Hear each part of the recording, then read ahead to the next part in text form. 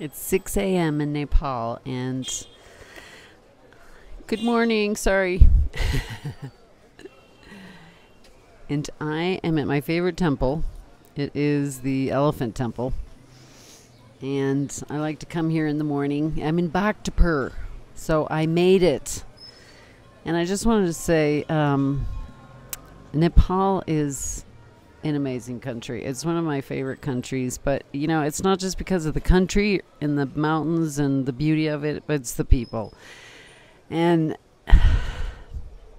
it's just here it is one year after the earthquake and so much has happened. There's so many things being built. I was talking to someone yesterday and he said things happen quick in Nepal.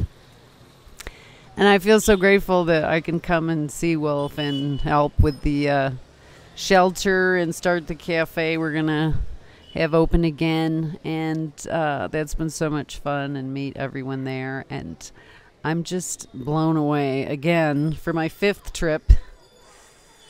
Each time there's a layer that opens up and you just feel so much more connected to your divine essence. And I, you know i can't predict that would happen for everyone but there is something so beautiful that happens when you're here.